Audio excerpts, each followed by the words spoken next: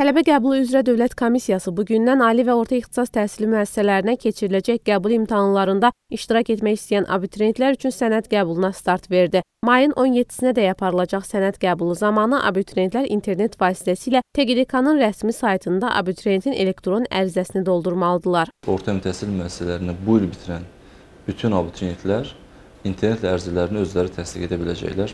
Heç bir sənəd qəbul komissiyasına onlar üçün müraciət etmək tələb olunmur.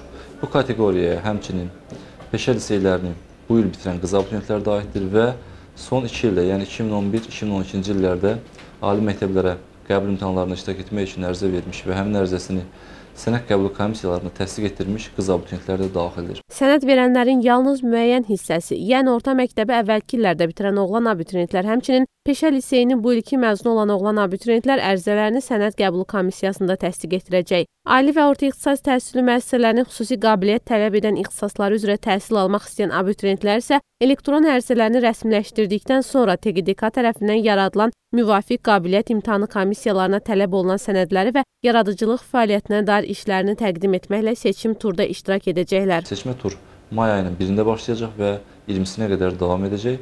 Həmin mərhələdə onlar seçmə turlarına əgər müvəffəqiyyətlə keçə keçərlərsə, qabiliyyət imtahanı üçün qeydiyyata alınacaqlar və test imtahanından sonra qabiliyyət imtahanına buraxılacaqlar. Təbii ki, əgər test imtahanında onların topladıqları ballar müsabiqə şərtinə uyğun olarsa.